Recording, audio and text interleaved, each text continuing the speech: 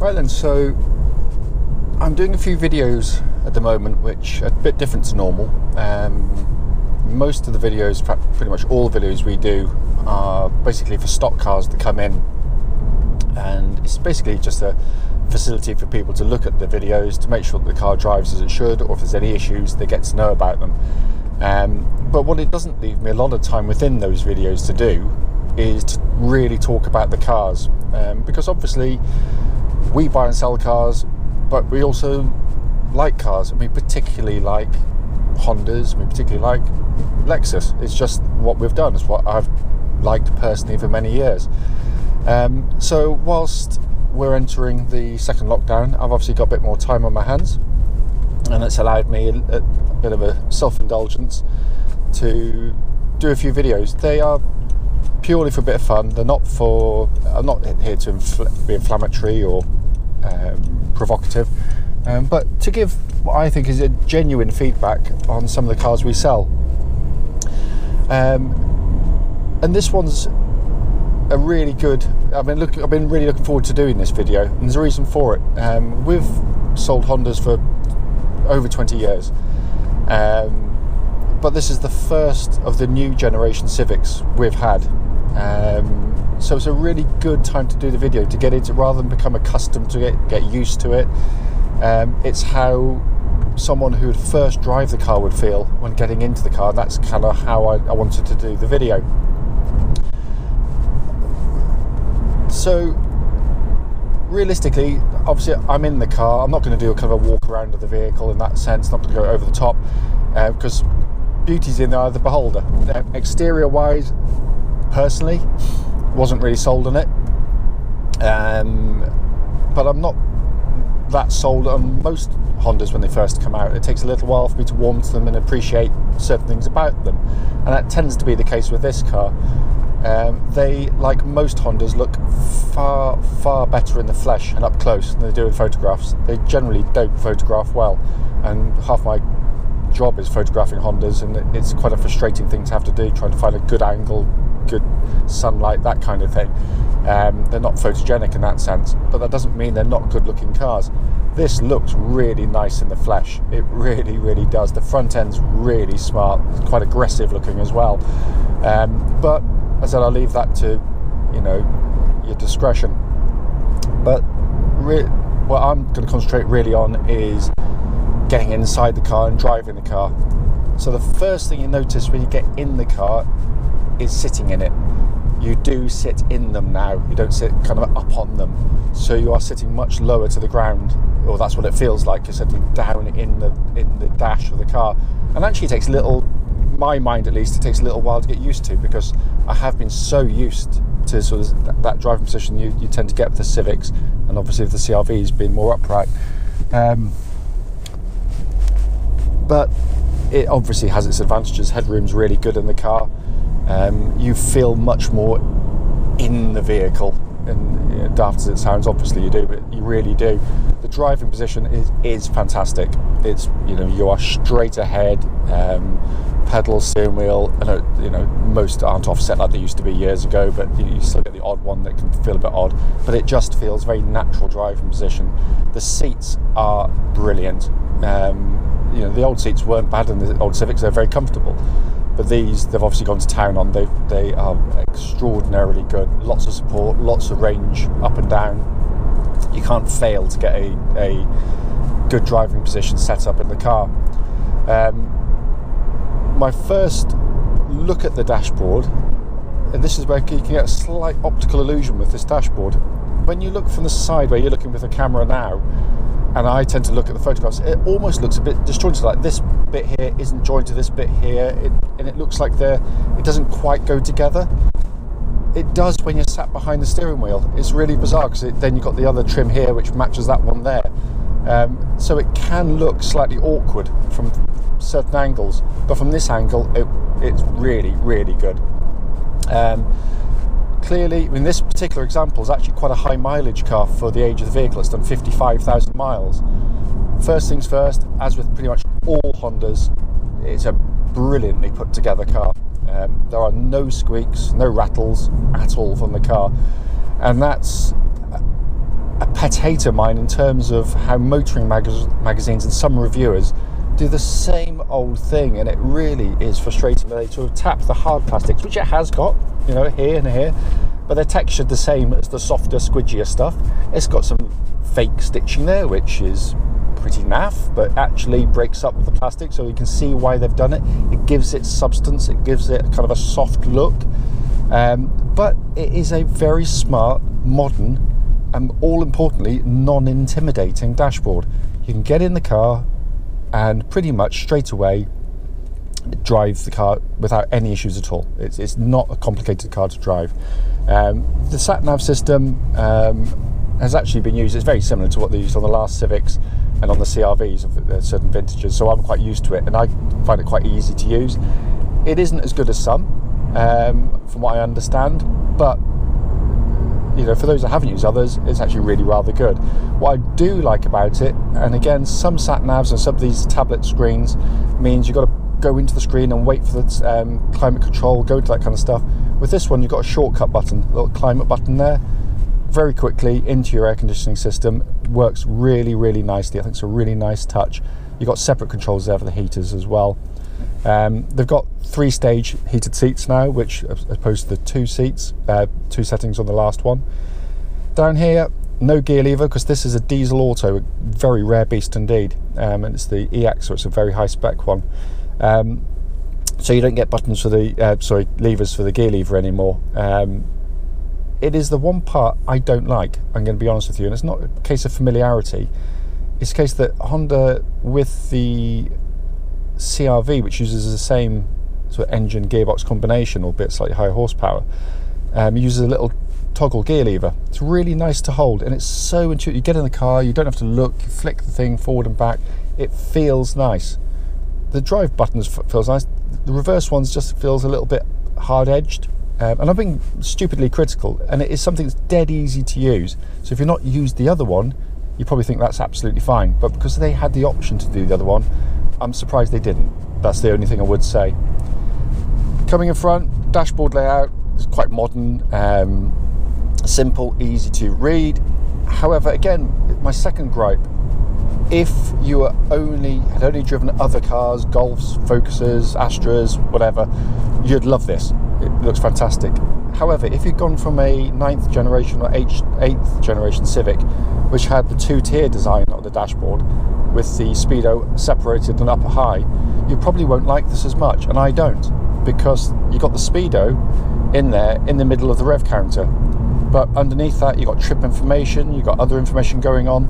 So to get your speed, yeah, it's there and it's clear, but it's not as clear as it was when it was separate. And I think Honda gone backwards on that personally.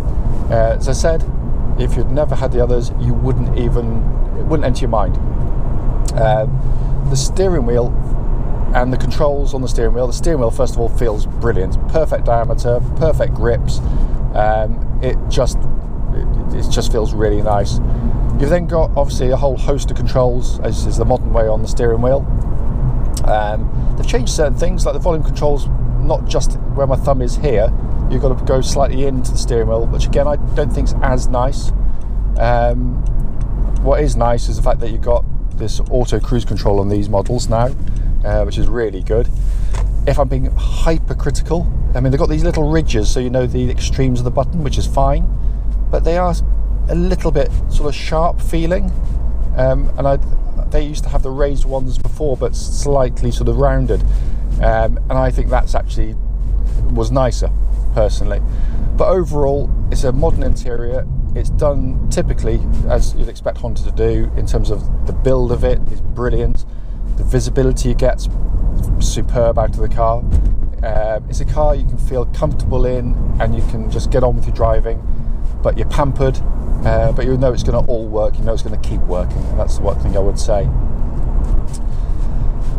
So coming on to the drive of the car, so this is a big, big departure from the last couple of generations Civic because they've gone back to fully independent suspension. Gone is the rear torsion beam on the back.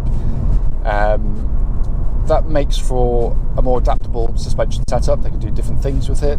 Um, notably, they can improve the ride quality, but also it does have the drawback, of course, it means you lose what they used to offer in the past, which was the magic seats in the back the, where the seats flipped up. So that's the downside. I'm happy to live with that because this suspension now and this road is horrible, and this is why I'm going down it. The old Civic, the Mark 8, would be jiggling about quite a lot and banging into some bumps. The next generation, which they did a lot of work on it, it was brilliant, but it couldn't hide the fact that you know both rear wheels were kind of working together at the same time, the torsion beam to some degree, um, and so it was a little bit more jiggly. Um, but they did a say a really good job. But this is absolutely fantastic, and I've been trying to think kind of how it makes me feel. Um, it just feels the, the car rides really nicely. It's very, it just feels very sophisticated. I have to say, it feels really, really. Um, the damping's just the right side of firm, so it's it's comfortable, but it gives you brilliant body control. Um, so you can put it through corners, and it it responds really, really nicely.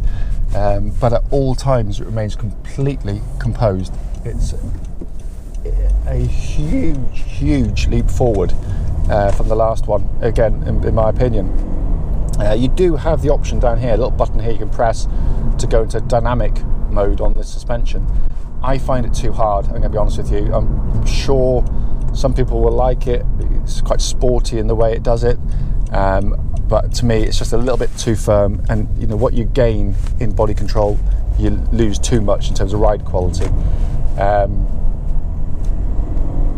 but Hondas have always given you what I've, or again, I've always liked about them, that they have a sporting edge to them. So if they go too soft in the suspension, you lose kind of a little bit the DNA of what the Civics have always been about.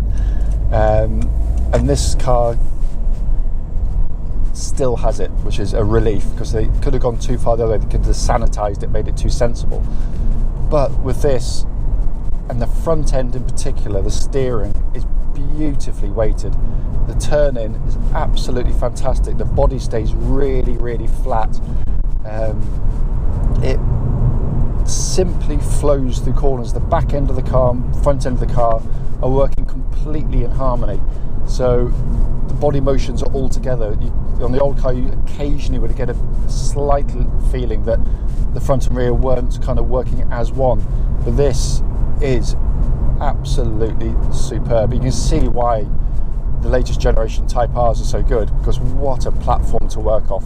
Um, it just corners so flat.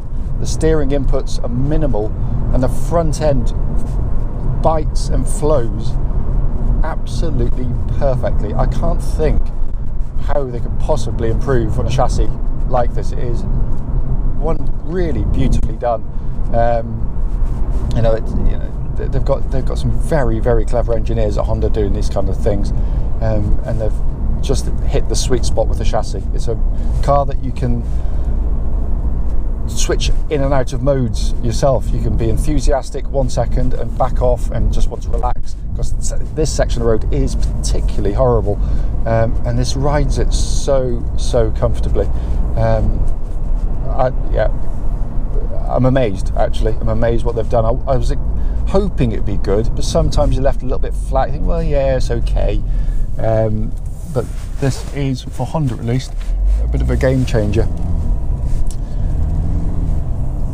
This particular car, I mean, obviously they do the uh, one litre petrol, they do the 1.5 petrol, neither of which I've driven yet, and I'm hoping to get a 1.5 turbo soon. I'm not that interested in the one litres. Um, the 1.6 diesel I'm driving now, and this is mated to the nine speed auto gearbox is a amazing combination.